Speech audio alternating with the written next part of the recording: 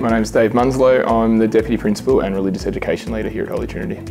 So as a foundation staff member being here since 2019, um, probably what I'm most proud of is seeing the growth of the school. We started with only 47 students and there was only eight of us on staff.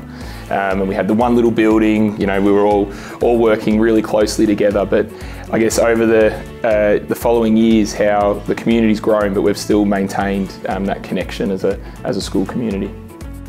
Since the start, uh, the first year of Holy Trinity, our school motto developed to be faith, hope, unity, together as one. Uh, and that's the motto that we've tried to bring through everything we do as a school. Um, really support each other in terms of our teams. Uh, we have leaders that come into facilitated planning, uh, but really just that uh, culture where everyone's happy to help out and pitch in um, to do what they need to support support the kids here at Holy Trinity.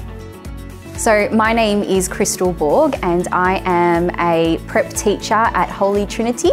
I wanted to make a difference on this earth and I think the most powerful way of doing that is instilling a positive um, environment for the students for the future. So anything that I can teach them um, for their future is really where I wanted to head uh, on my journey as a teacher. So getting them to go out in the world and being the best that they can be the best thing about being a teacher is probably seeing the smile on the students' faces when they've learnt something new for the first time and it could be as simple as tying their shoelaces or um, putting a jumper on or saying please and thank you. So definitely the kids first and foremost.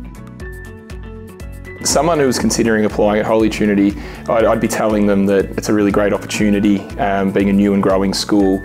Um, a school where we've got an opportunity to do things a little bit differently and really look at what the latest evidence-based uh, research is saying about what's effective in learning with kids and um, how we can support their learning.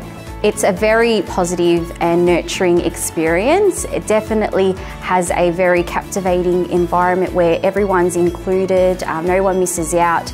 we work as a team. Uh, it's very fun. The teachers have such a positive uh, vibe and the students are absolutely beautiful. They're very kind and nurturing and they really do live out our touchstones at Holy Trinity and our vision which is working together as one.